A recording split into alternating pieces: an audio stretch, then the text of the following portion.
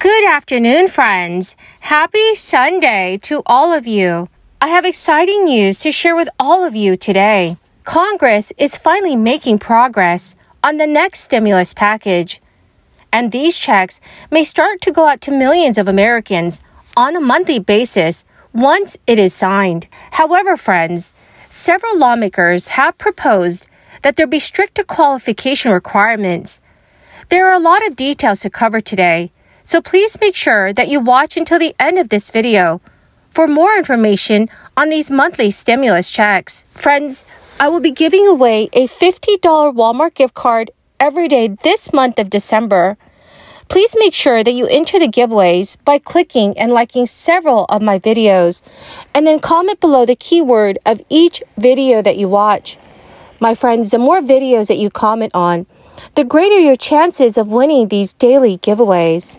Some of the legislation that's been passed recently, including the Inflation Reduction Act, has tried to encourage the adoption of electric vehicles. And in a, in a way, it, it hasn't fully addressed some of the underlying issues with supply chains. For instance, the tax credits for electric vehicles that were drafted in the IRA required critical mineral sourcing in North America. And and while we all agree with that and we all want that ideally, even the manufacturers have indicated that that's just not going to be possible and it's going to be a problem. Even uh, our ally, um, France, um, President Macron was here last week, indicated that to, to President Biden as well, that it's a problem. And you know, and, and, there was a witness that we had in, in a hearing in September that indicated that the, the EV tax credit in the IRA would have almost no impact on EV market uptake.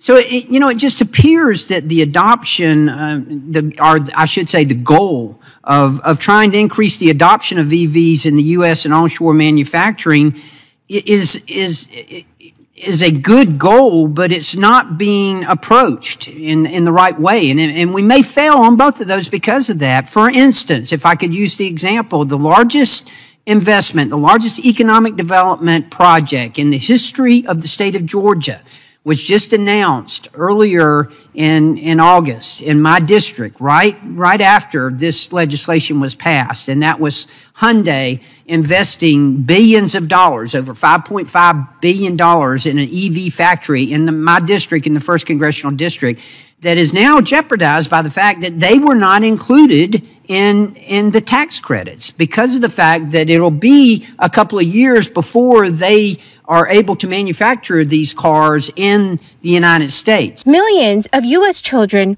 were lifted out of poverty in 2021 thanks to a more generous child tax credit that included monthly checks that were sent out to millions of families. Now, the lame duck session of Congress offers a last chance this year to renew the expanded child tax credit that lapsed in December 2021.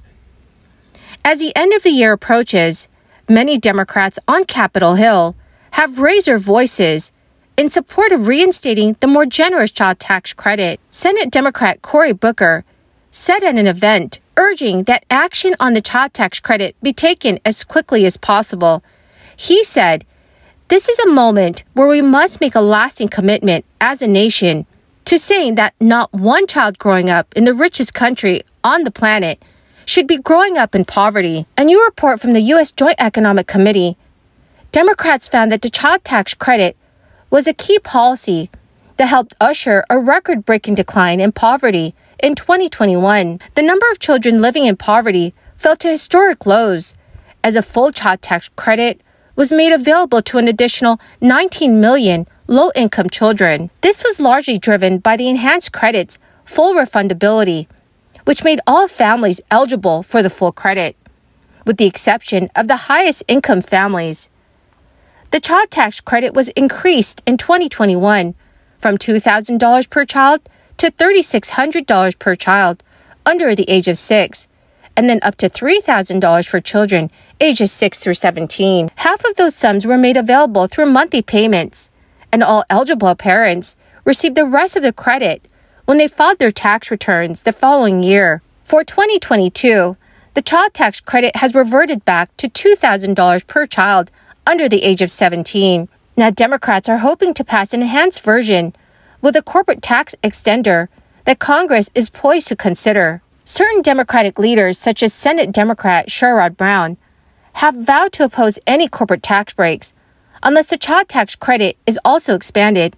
Brown said this week, These cuts have made such a difference in families' lives.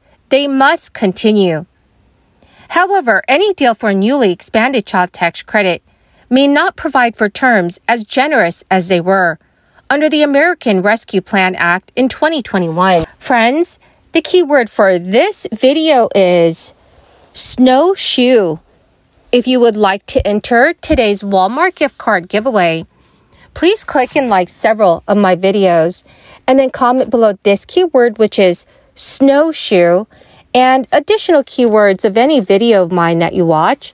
And do make sure, friends, that you're also subscribed to my channel. Rachel Snyderman, Senior Associate Director at the Bipartisan Policy Center, that while both parties are interested in revisiting the child tax credit, there may be a compromise around the income phase ins and maintaining incentive for labor force participation. Lawmakers are also looking to index the credit to inflation in the short term. With only so many legislative days on the calendar left, it remains to be seen whether Congress will find time to address the issue before the end of this month.